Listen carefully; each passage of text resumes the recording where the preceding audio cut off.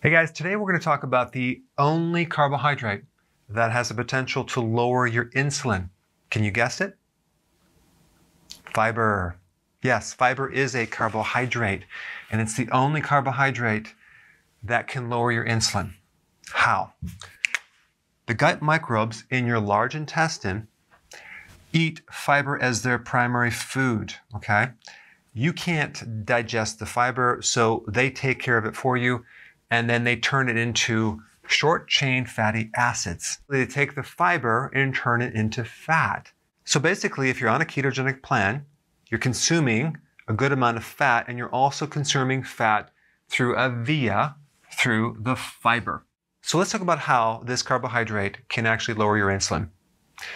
Um, one of the short chain fatty acids is called butyric acid or butyrate. There's others, but this is the one that I'm going to primarily focus on right here.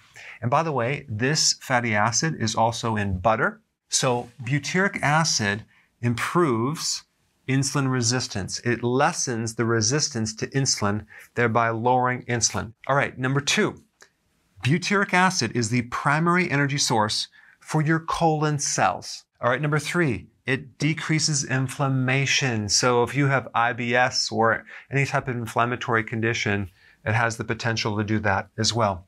Uh, that's why um, butyric acid from, for example, um, ghee, which is kind of like a filtered butter, uh, is really good for the colon and good for IBS and any type of inflammatory condition. Um, number four, it has the potential to decrease risk of colon cancer. All right, number five, it increases glutathione, which is a very, very potent antioxidant. All right, number six, it has neuroprotective properties, not just for the brain, but for all the nerves in your gut, which you have quite a few. I recommend the fiber you get should be from vegetables. The vegetables will also provide a good amount of potassium and magnesium, which also will improve insulin resistance. Okay.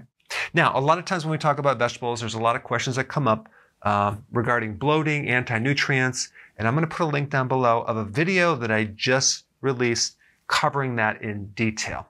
All right, guys. Thanks for watching, and I will see you in the next video.